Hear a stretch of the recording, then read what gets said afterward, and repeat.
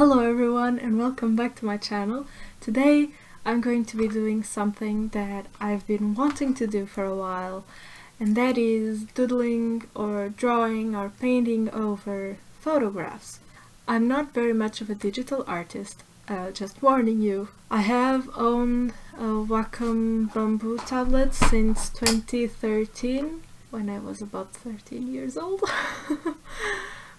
but I haven't used it as much as I'd like to and I wanted to practice a little bit more of digital art. The software I am using is called Krita. It is, I think it is open source, but if it is not open source, it is free. So I took a few photos when I went to Sintra, to Parque de Monserrate. It is a very beautiful park. It shows a few pictures I chose one of moss, another one of moss, more moss because you can tell I love moss. And this picture is the roof, like the mossy roof of, I may insert a picture so you know what I'm talking about. The way the roots connected to the rest of the tree was very fascinating to me in that moment, so I took a few photos playing around with perspective. I really liked the way this one came out. So, what I was thinking was to do these six photos, but I think that would be an incredibly long video since I'm not very used to digital things. It will take me longer than it would take someone with more experience. So I think I'm going to focus on each one at a time and depending on how much time I spend on each one I may do like one or two or maybe three but I'm not expecting to make six right now. But I really want to do this last one. This one I'm not as excited as I was when I took the picture so I want to scrap this one. I really like the one of the rooftop. It's funny because I didn't think about painting over the pictures while I was taking them. I was thinking I need a new desktop background and I really wanted some moss so that's why there are so many moss pictures. I think I'm going to start with this one. At first I thought I was going to paint over everything and create like a landscape or something from the picture, a little bit like um, those older videos by Ross Draws, where he has, I think it was a magical girl made out of a um, hot dog. So I was really excited to do that, but I think, now that I think about it, I don't think that's a great way to go because I think it will be very demotivating for someone who has not been using digital. I want to start small and maybe one day I'm going to do paint overs like that. So, I have created a second layer and I am going to be using pink. I'm using just a chalk brush. I would like to make some tiny creatures inhabiting this place. I'm not sure if I want to turn the leaves into houses or if I want to just place creatures on top of the leaves. I think it could be fun to do something like this where the house would be something like this and the tree the tree the um, yeah the tree would be the ground and the leaf would be the the roof so what I was thinking is having like the door over here and then having some windows over there. I feel like I'm just drawing some... Ah! I would love to use some Art Nouveau kind of things in the in the buildings because it's an area of architecture that I really enjoy.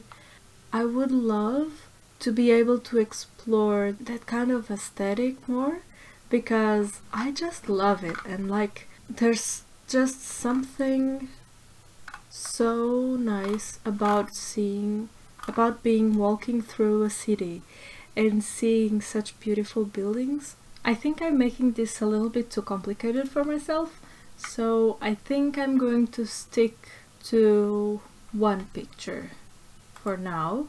I think that's my best option because I'm getting very much into this building kind of thing right now and it looks a little bit wonky. I can see that the perspective is very off in some places but I can't really see how to fix it, which means I need to study perspective again, yay!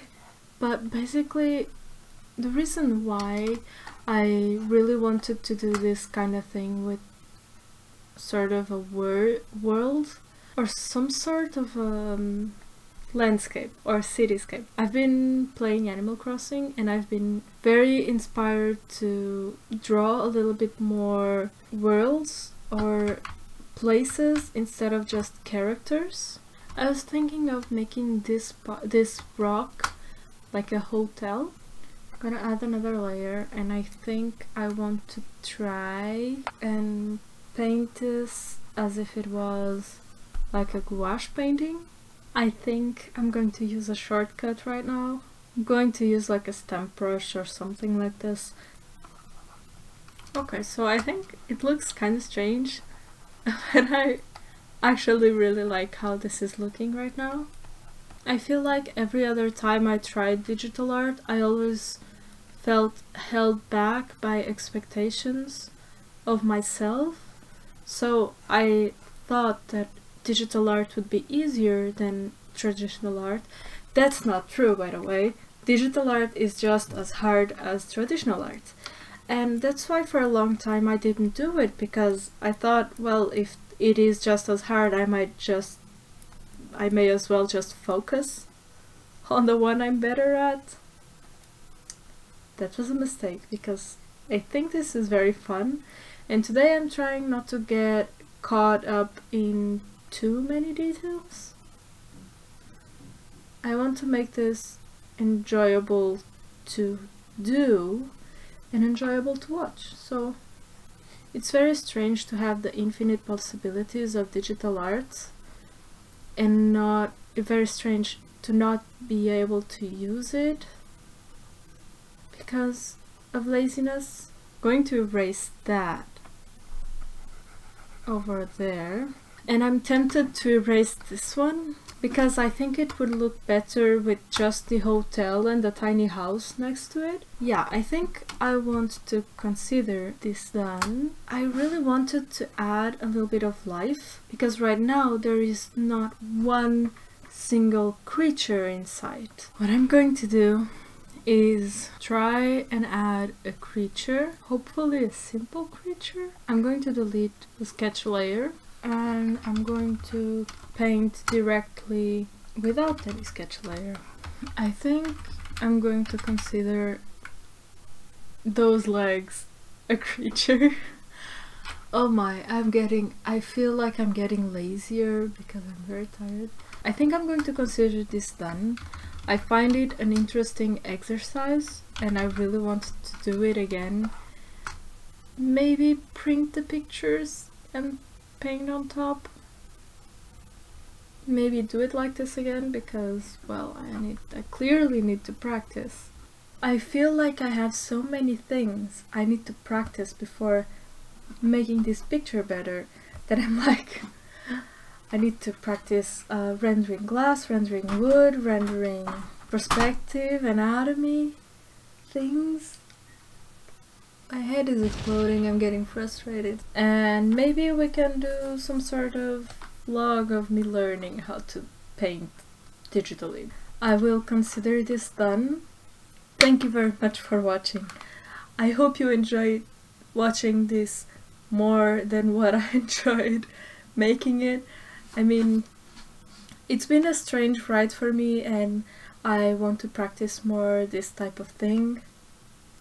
It is very fun to draw on top of pictures, but maybe next time I need to sketch on paper before translating it into digital so that I know uh, how much detail I can go and what to do actually because I feel like I lost a lot of brain cells today.